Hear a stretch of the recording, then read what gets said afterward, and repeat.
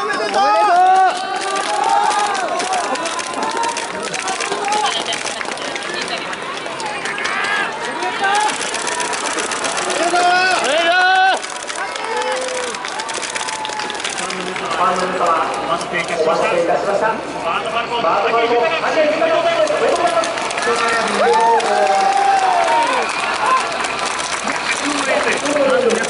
ございます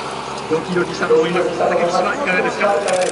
誰よりもドキドキしたと思います。えー今日のレース内容いつものようにまあ軽い感じで離れていたと思うんですがちょっとこう追跡の手がいつもより厳しかったですがそうですね、少しあのレース前から、まだ少し効きすぎてるかなっていう、少し気になってたんですけど、道中も、馬にしては随分あのリラックスして走ってたので、いいのか、いいのか、どうかなと思ったんですけど、あのまあ、横コーナーでもっと離したかったんですけど、なかなか離れなくて、まあ、その分最後、本当にヒヤヒヤしました。1年間勝ち続けてきたやっぱり最後の最後に来て少しこう目に見えない疲れというかそういうものがありましたかねそうですね、まあ、結果的に、あの今まで全力でずっと走ってくれてた馬なので、まあ、その分少し今日は、あのいつもほどのパフォーマンスができなかったかなっていう。しかし最後の最後ゴール戦場で国が取りましたやっぱりすごい馬ですねそうですね、本当に本当に巡り合いましたね。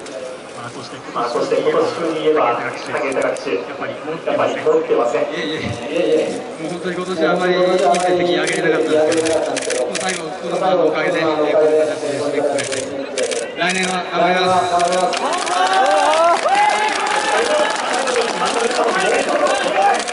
そうですね、あのこの馬とともに海外にも行きたいと思います。ドバイ買ってくれよもともと頑張りますので、皆さん応援してください。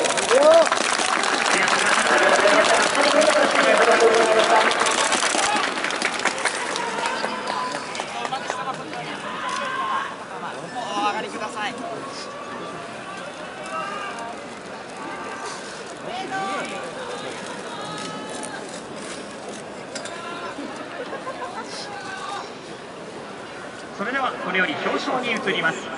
はじめに優勝はスマートファルコン号の関係者の皆様に対しまして TCK 大井競馬場より花束が贈呈されます。スマートファルコン号のオーナー大川徹様です。おめでとうございます。花を取られました。武豊騎手です。おめでとうございます。管理されます。小垣健調教師です。おめでとうございます。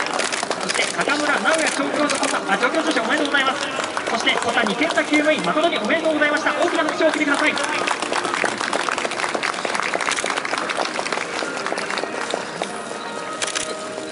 続きましてコーナーの大川徹様に対しまして伊藤さん渡辺さんから優勝賞金7000万円が贈られます。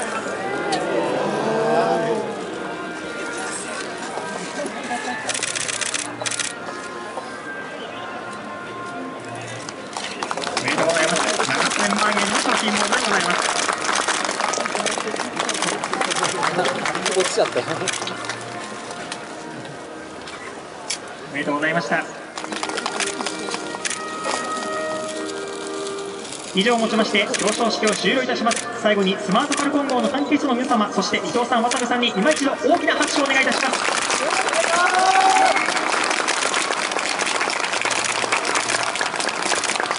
ファンの皆様ご声援誠にありがとうございました。以上をもちまして表彰式を終了いたします。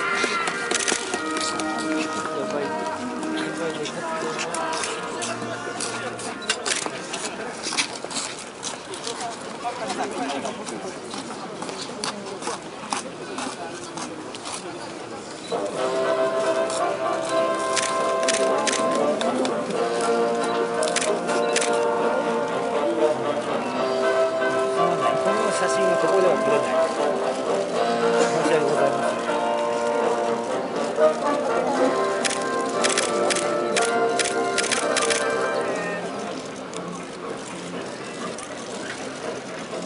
次の写真撮れたら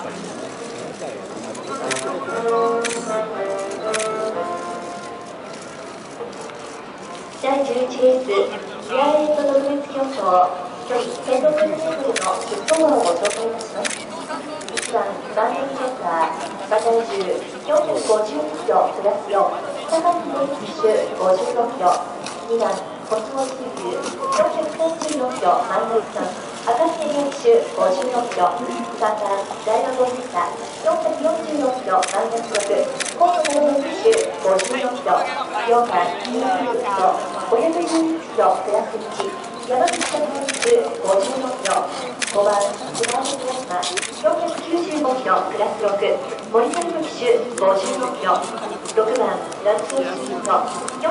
キロプラス19初春宮司騎手54キロ7番平野ブル470